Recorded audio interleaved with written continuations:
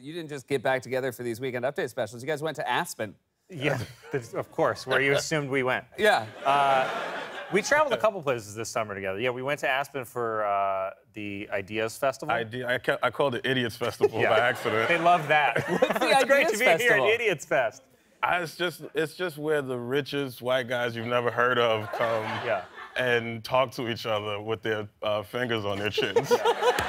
I don't know.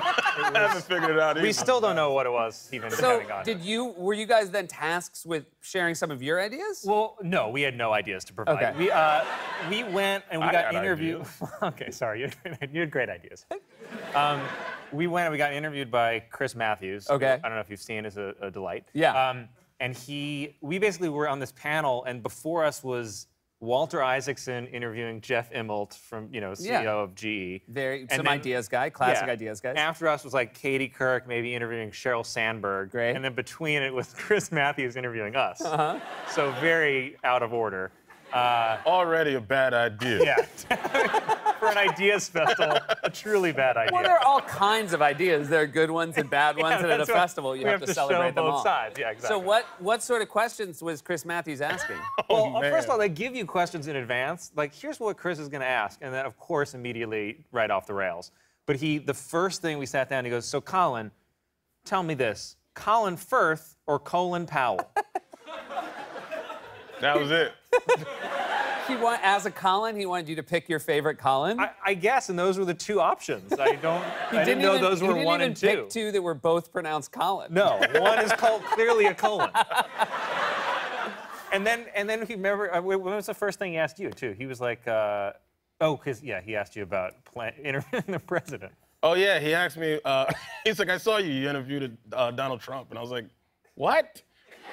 And he goes, No, I saw you on TV. You were interviewing Donald Trump, and I was like, What are you talking about? Turns out he's talking about the sketch where I played Lester Holt interviewing him.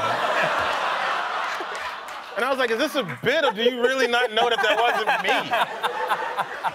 I couldn't tell. Then he goes, Ah, Streisand's hating it. And then you look in the crowd, and it's Barbra Streisand, and she really hates it.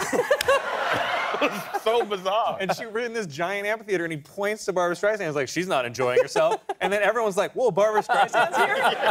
And she is pissed. And Barbra Streisand's like, why would you do that? It was so strange. Yeah. Uh, Che, I heard you went. Uh, you had a very unique trip to Cleveland this summer. yeah, well, we we were supposed to go to Cleveland, and uh, uh, I flew on a plane. Well, and I got there. you already you were already in I was there. Cleveland, and I was on my way to Cleveland. And uh, I got on a plane and I put my headphones on and I and I fell asleep as the plane was taxiing. Yeah. And uh, I woke up, the plane was landing, and I, I had my headphones on. I was still listening to uh, Kendrick, maybe. and and I, I got off the plane and I was supposed to meet the driver, and the driver wasn't there. And I'm like, "Where are you?" And he's like, uh, "I'm like, I'm at this C terminal." And he's like, uh, "There's only one terminal." and I was like, "That's impossible." So I'm arguing with this guy because he's not there. So I end up just taking a yellow cab. I get in a yellow Well, cab. Well, yeah, you, so it circled and went back to New York. You got out, were mad he was not there for you. Turns out he's in Cleveland. He was in Cleveland and I was still okay. The Yeah. plane The plane turned around. it just did a lap and then landed. And I didn't know. yeah, because you still had your headphones on. yeah, I still had my headphones on. So you walked out to Terminal B here still, and then were really mad at your driver that he wasn't there. Right. Because he was in Cleveland. so you got in a taxi? he got in a yellow New York City taxi cab. Gave the guy an address in suburban Cleveland. And How- then the guy also was like, you know, this is gonna be a lot of money.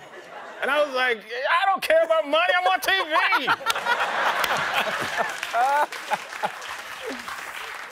and then uh, uh, I, I saw the New York City skyline. I said, wait a minute. That's a weird. That wasn't in the Cleveland brochure.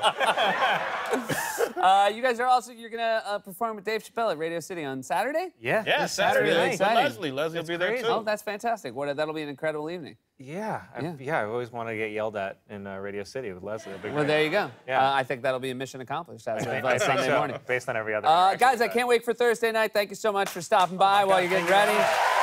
Colin Jost and Michael Che, everybody. Weekend Update Summer Edition premieres live tomorrow night at 9 here at NBC.